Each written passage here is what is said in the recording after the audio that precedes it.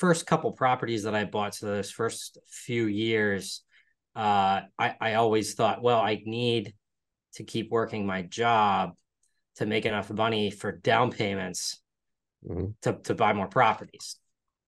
Then I learned the the BRRRR method, and I learned that I could put my capital into a property and improve it and refinance and do it again and re- keep reuse reusing the same capital.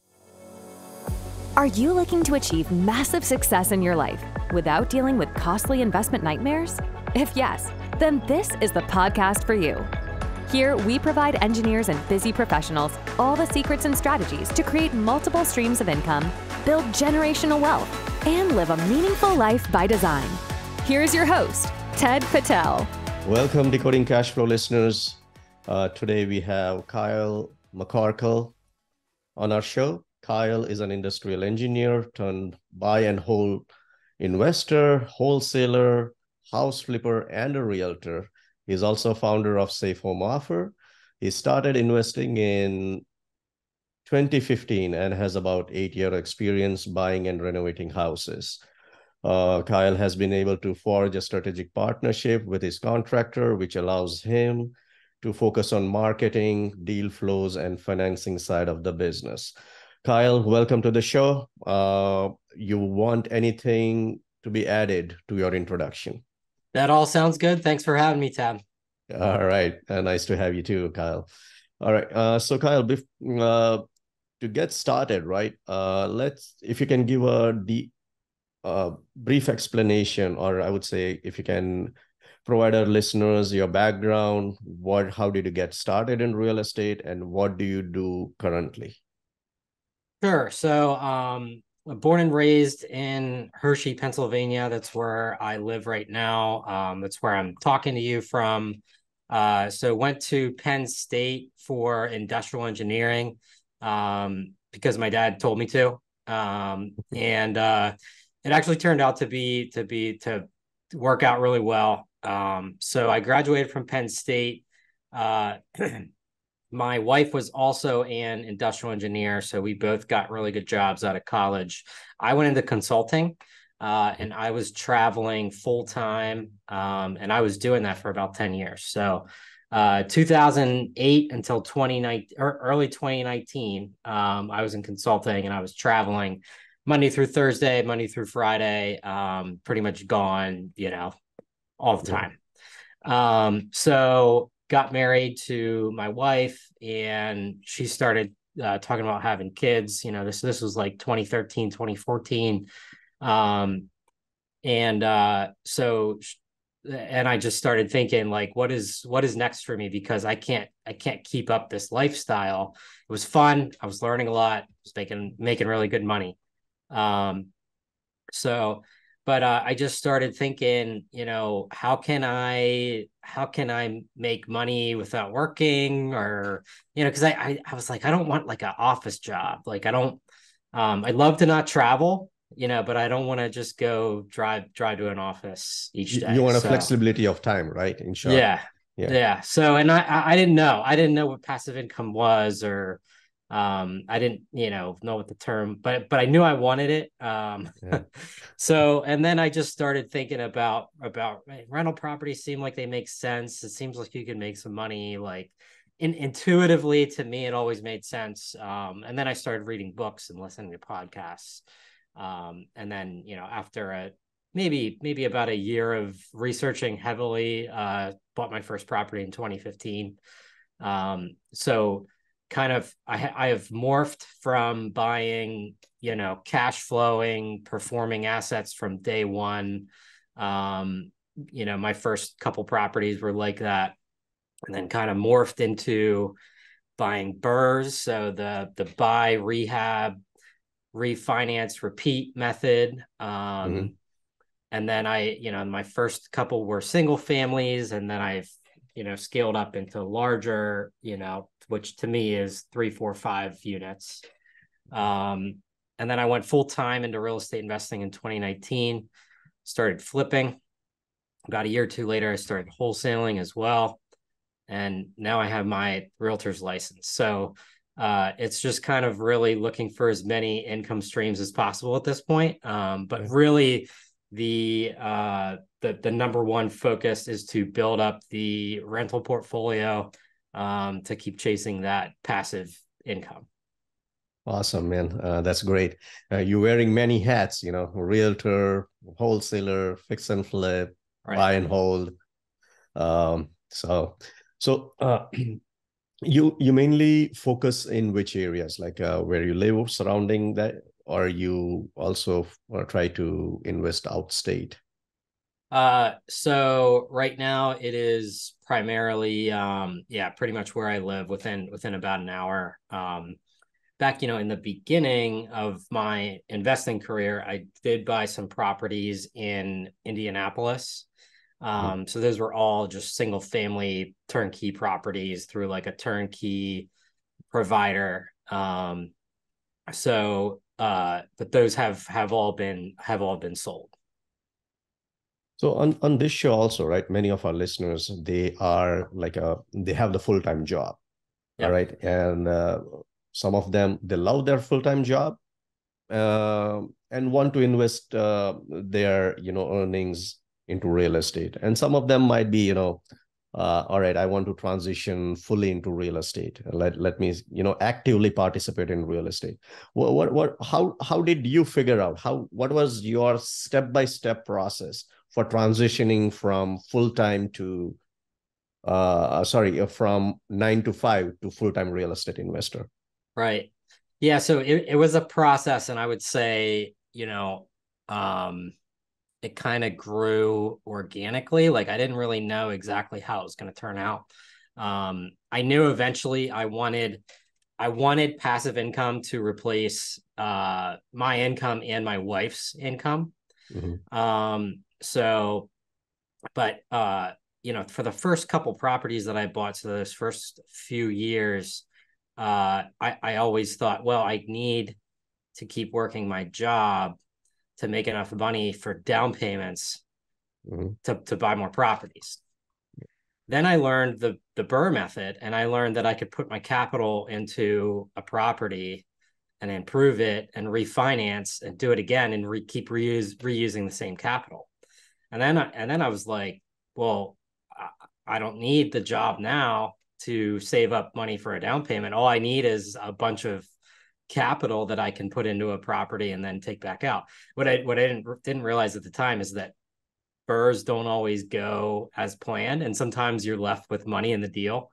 Um, so, uh, but anyway, so you know, kind of came to that realization, saw that you know my small portfolio at the time of it was probably 10 units um mm. and i was making some money and i and i just did the math um, and did the math with my wife, you know, because I, I feel like through most of this, it was proving to her that that this can work.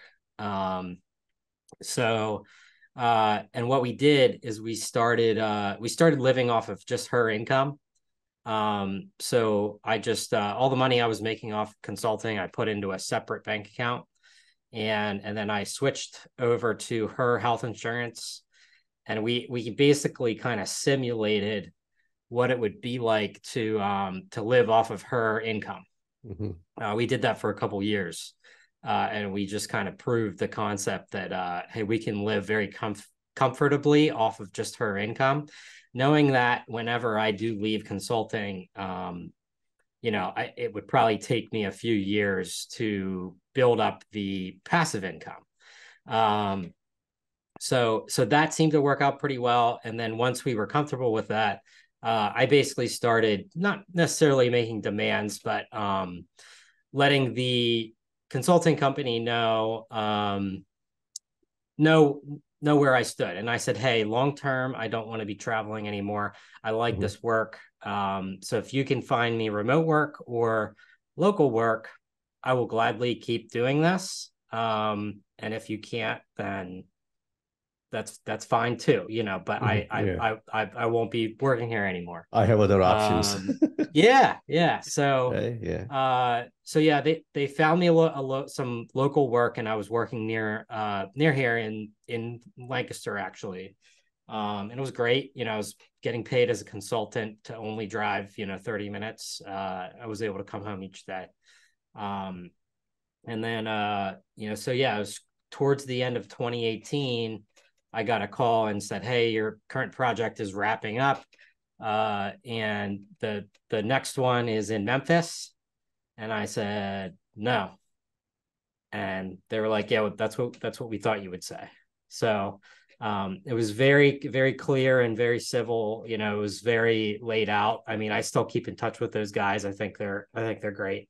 Um, you know, and, th- and that was part part of that was pretty much by design as well because I I didn't want to burn that bridge. I wanted to be able to go go back if I ever needed to.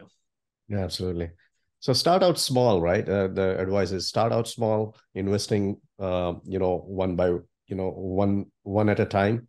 It yep. might be a single family, multi-family, but just uh, just uh, try to learn the game while you're working. You know, try, try yeah. yeah.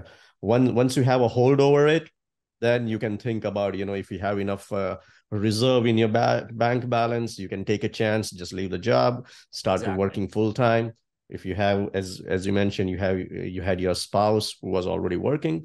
So uh, that worked out pretty well uh, for you during the transition phase. Exactly. so yeah and uh, so for uh, initially right uh, you mentioned one uh, one a sentence where you said the BRRRR method sometimes works, sometimes doesn't.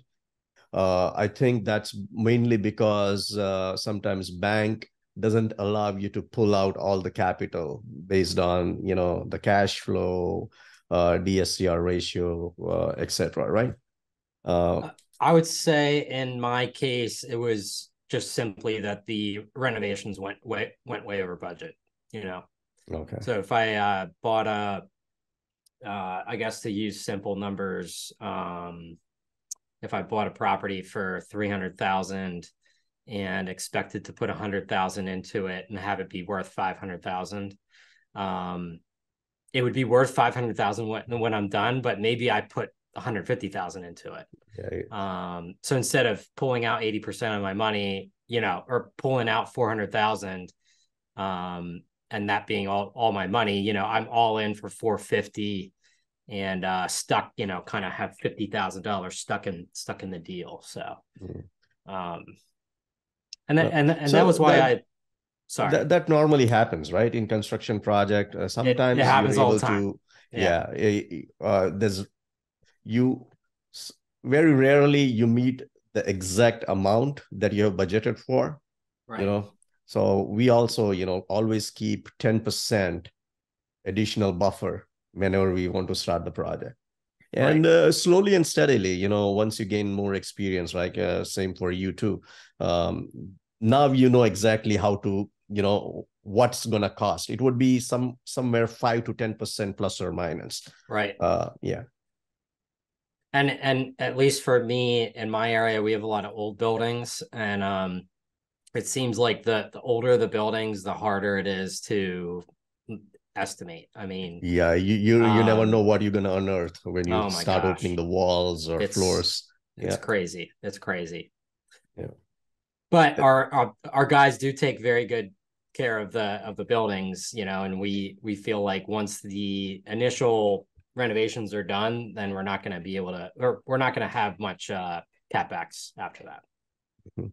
And uh, do you, uh, with the contractor, right? You, of course, uh, do you have the same contractor working for all the properties or how, how, how, how do you work with those contractors? Like, so back in 2019, when I went full time, um, and I, I, my first couple deals in 2019, I was, you know, I was still solo um, mm-hmm. and trying to kind of do it all myself. So one of the contractors that worked with me, um, was close to my age uh, and we just really got along. And um, he started asking me about invest he said i want to do some investing myself but i don't know how to find deals. And um, so anything anyways one thing led to another. And you know we weren't looking for partners but then we just said why don't i find the deals and you do the work um, yeah. So that's what we've been doing, you know, for about for about four years now. Uh, so so I'm pretty much exclusively focused on marketing and finding deals and finding money. Um, mm-hmm. and then once we close on the deal, uh, I get him his keys and uh, and his scope, and he has about 15 guys working for him, plus plus a bunch of subs, um, and he just handles all of the uh, renovations. All right, that, that, that's pretty good actually. You know, you have someone who's already experienced on your team. You don't have to worry about because uh, he has been working. Uh, he might be working as a, a, contractor for a while, so he knows, uh, you know, how much labor, how much, how much is the material. He might be able to get a more realistic, I would say, estimate, right? Right. Yeah. Right. And uh, when you mentioned about marketing, you handle the marketing aspect of your business. So, what what are the main funnels that you have created so to bring in the deals to you? Yeah, so it's it's continually changing, um, and we've had to really kind of scale back the marketing over the past twelve months or so. Um, because the the market has just gotten so tight with uh, a lot of sellers who can't or don't want to sell anymore.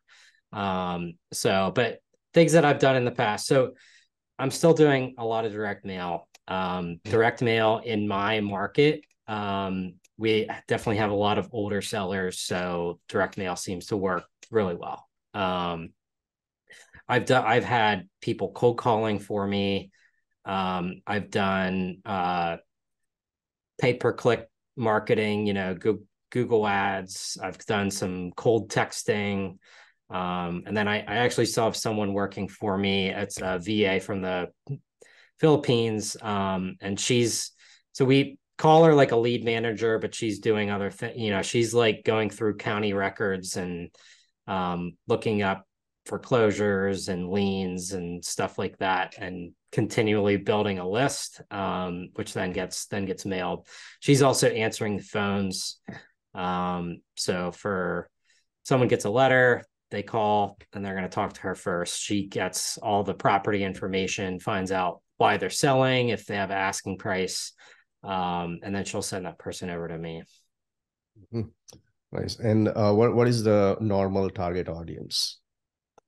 So we have a couple different lists that we've done um, in the past. So I mean, the the main two kind of pipelines that I think of are multifamily, so bigger properties with multiple units, um, as big as possible. You know, the the biggest we've bought is five units, but I mm-hmm. mean, um, I think we're set up to be able to buy much bigger. Um, so we have multifamily owners uh, of these larger buildings, so they're usually pretty pretty wealthy people. Um, usually older uh, as well.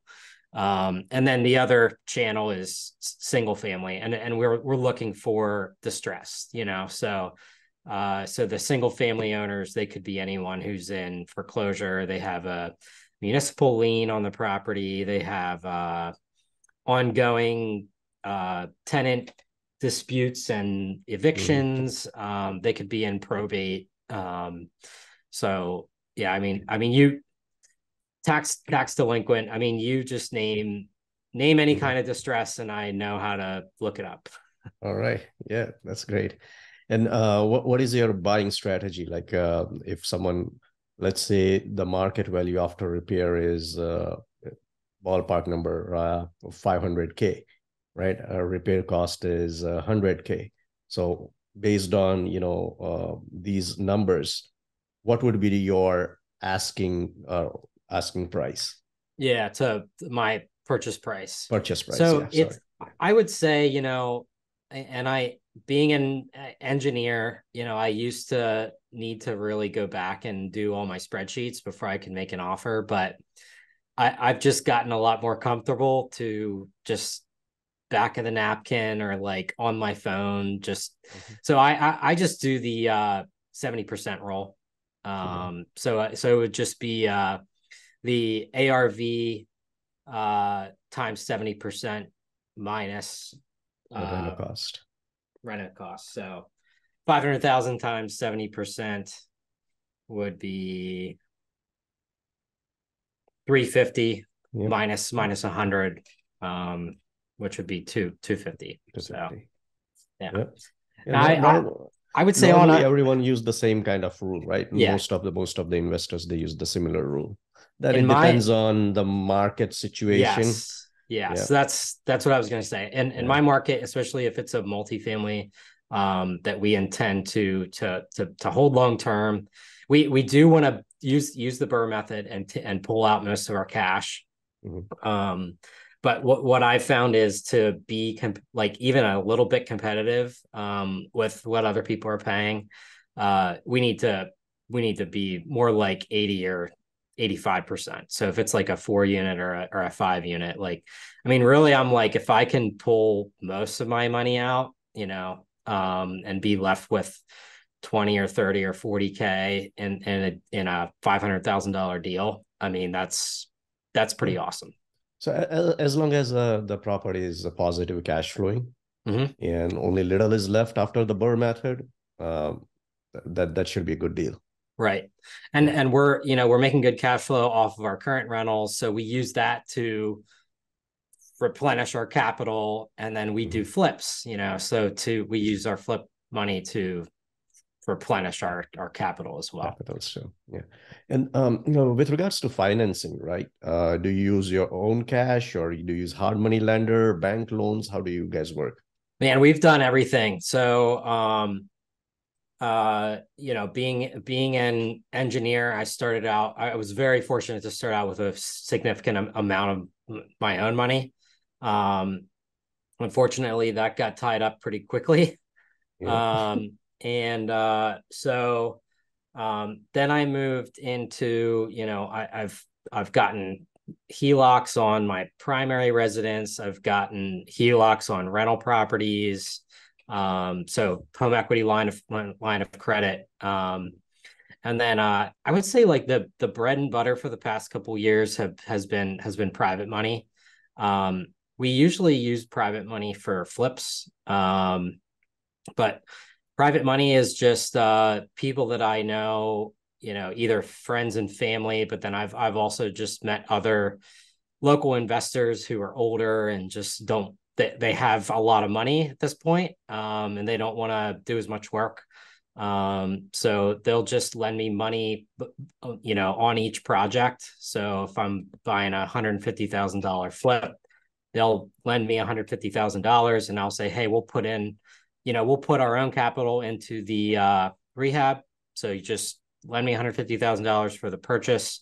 We'll put 50 into the to the rehab. We'll sell it for 300 and they'll make 12% on on on their money. So um that's been that's been working Yeah, out so really well. That's a fixed percentage, not a uh, share profit sharing basis. That is not profit sharing. That is it's Okay. it's a it's a loan. It's a loan. Okay. Yeah. All right. Sounds good, man. Um, and maybe let, now let let's talk about some of the uh, good and bad deals that you have encountered uh, till now. So if you can just say we, we- what was the what was the worst deal that you came across, and uh, you know how did you try? What did you do to fix it? I would say. Yeah. Um, worst deal. Uh, I guess I won't talk about a flip. Um, we had one flip that we lost money on, but uh, so which was also a very old property. Um, so but worst buy and hold is uh was a three unit that um we bought for sixty four thousand. Um, which I know I live in a cheap market, but even in my cheap market, that's really, really cheap. Um, 64 is uh, way good. and it's it, it's in a really good location too. So um we bought it for 64,000. We bought it uh right like in the middle of when COVID was hitting. So um I think it was I think we closed in May of 2020. Mhm. Um, so first of all, that was that was uh, like a three month period where um, pri- my, all my private lenders did not want to lend because no one knew what was going to happen. No one knew that real estate was about to go bonkers. Mhm. Um, so uh, I, I couldn't get private money, so I actually had to go with hard money. Um, and so it was worse terms, uh, less flexible terms, and we had to um, pay interest on the renovations, uh, even before we got the renovation draw money. Um, and we were planning on putting in, I want to say 150. Mm-hmm. Um, so it was pretty heavy. Um, buy for 64, put in 150. And I, I think at the time we were estimating ARV would be like 280. Mm-hmm. Um, so maybe close closer to 300. But so, anyways, so number one, the financing was not ideal. Um, number two, uh, we started working and got like a like a stop work notice right away. Um, you know, and we we didn't know that we couldn't put on a roof. Uh, Without we needed permit. A, we needed a permit for a roof. Yeah. Um, so you know, in in my area, most uh, municipalities you don't need a permit to put on put on a new roof, but this one you did. Um, so we had to stop work. We had to get our permit, and then the permit application process because it was COVID, it was like all yeah, it takes a while mucked up, and they didn't yeah. know. You know, it was like it was like well, yeah, we're you know they needed to walk through it in person, and they, they were like, well, we're not doing in person walkthroughs anymore. You know, so it was like it was like, well, how do we get our permit? um, so that process really slowed us down. Mm-hmm. Uh, so we were starting, stopping, starting, stopping, starting, stopping. It ended up taking us two years. We found a major foundation issue that had to be addressed. Um, and meanwhile, in that two years, material costs is skyrocketing, labor costs are skyrocketing. Luckily, real estate prices also went up. Um, so uh, by the end of the deal, we I think it appraised for 350 so it was higher than what we thought, but it was two years later. Um, yeah. and uh, our our renovations was over three hundred thousand. So three hundred that it, it doubled what we thought we would put into it. So wow. it was a combination of unknowns and the cost the cost going up you know and all the starting and stopping you know so it was just uh it was a nightmare of a project we refied. We st- we're still holding on to it. Um, you know, but uh, I think we learned a lot of lessons there. Yeah, it, it's a holding period that kills, right? Uh, you know, on, because the interest rate, everything, uh, right. just uh, starts building up. Uh, in addition to the cost, of, of course, you mentioned, right? You you never know what you will uncover after you buy an old property. Uh, right. Sometimes foundation issues. You never know. Yep. Oh, all right. So as long as you came out, you know, uh, now it's uh, off the plate, and you can focus on the other stuff. it's it it's off our plate. You know, we kind of dug ourselves a hole. We did a lot of successful flips in that time too. Um, so that kind of you know, like I was talking about, you know, we we need to do that right now in order to, you know, I view the the money is it like um or the the cash flow is like building a big bonfire, and you you got to keep feeding the fire um, yeah. and then it'll it'll give off heat, you know. But um, at this point, you know, we need to keep feeding that fire and building it bigger and bigger, so we can keep building our cash flow. So, what what is your uh, uh how how do you see yourself in future? Like, what is your next strategies? Just uh, keep focusing on the flicks and flips, buy and hold, or are you planning to venture out into uh, commercial, uh, multifamily, like large multifamily? I would say. Yeah. Uh, any any such plans? So I would love to to continue buying with my partner. Um, I I personally want to buy bigger properties because I've seen, you know, even going from like a single family to a four unit or a five unit, um, I've seen how much, you know, those bigger properties can scale. Um, and, you know, I'm comfortable with commercial lending. I'm comfortable with larger amounts of money my partner has 15 guys. Uh, you know, he's building out his construction and also his property management. So mm-hmm. I think o- operationally we're set up to be able to buy some larger properties.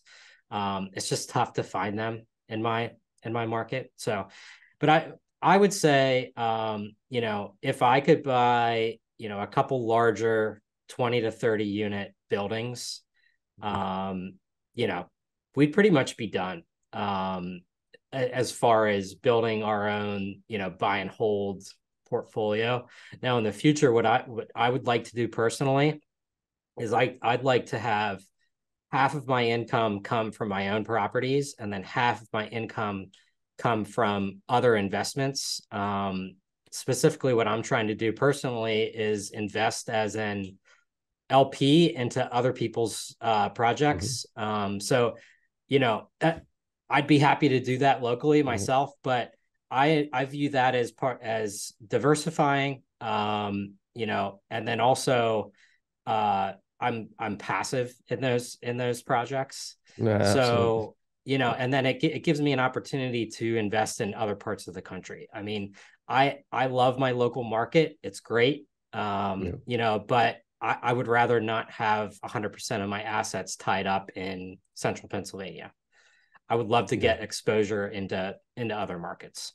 Well, that, that that's a great strategy. You know, that's what we have been doing. Also, uh, our active, you know, active income is mainly into the ground up construction for the luxury single family houses as well as we build you know uh, small multifamily units uh, anything below 20 around 20 20 25 units i would say uh, Love it. and um, um, I, we started diversifying into larger multifamilies. Uh, uh, you know, I started investing as an LP uh, back in 2018, and based on what we learned, you know, now uh, we provide uh, opportunities for the investor if they want to participate in the active deals, you know, of uh, fast uh, closure, right. like within one or two years, you you can rotate your money in the active construction projects.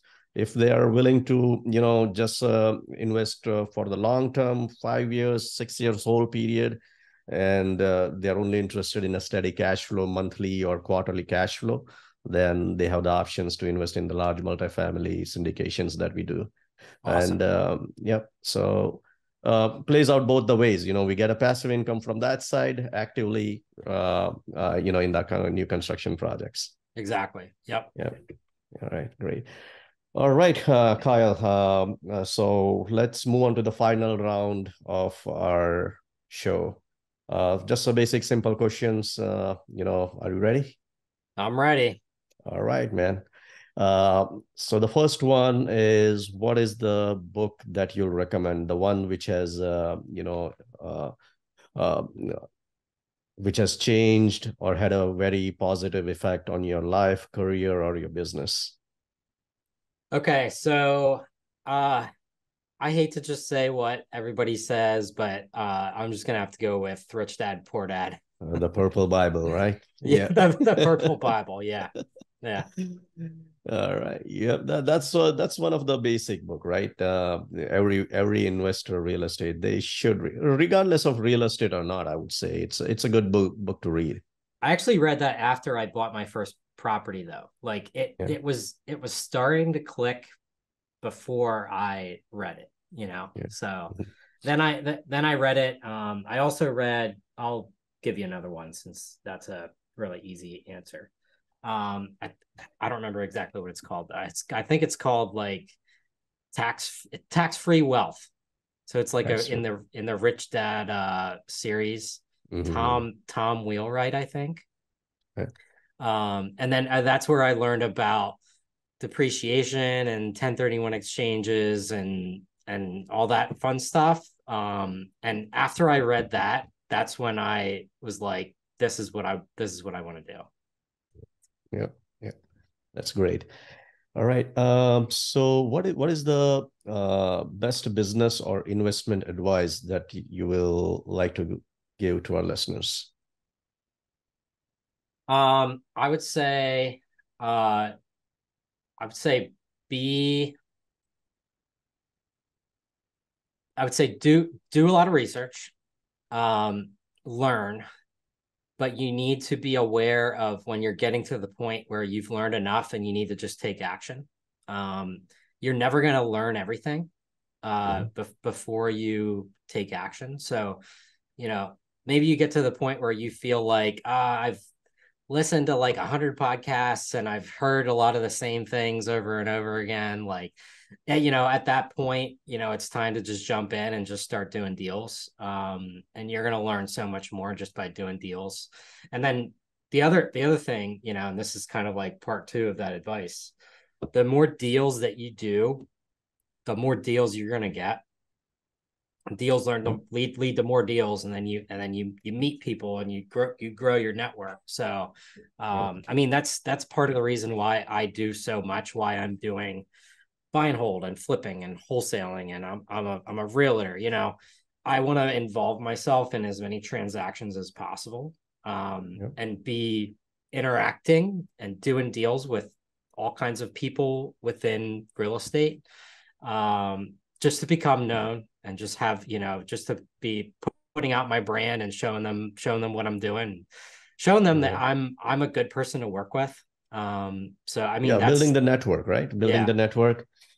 Yeah so uh, that's the main thing. And uh, as you said right uh, don't uh, don't just wait uh, for everything to be like 100% perfect you right. will yeah there is no perfection. There is nothing like 100% for i'm i'm 100% ready. Now let's invest. No right. just learn learn the basic things um and get started you know. Even if Don't, you want to get started with a small amount or you know with a smaller or maybe partner with someone i would say you know right. who really knows the business. Don't let perfect get in the way of better. Yep exactly. That's a that's the right way to say yep all right. Uh, so, Kyle, uh, final question. Uh, how can Decoding Cash Flow listeners get in touch with you? Uh, so, I have a website. It's called realliferentals.com. Um, so, I started doing the website uh, probably five or six years ago now.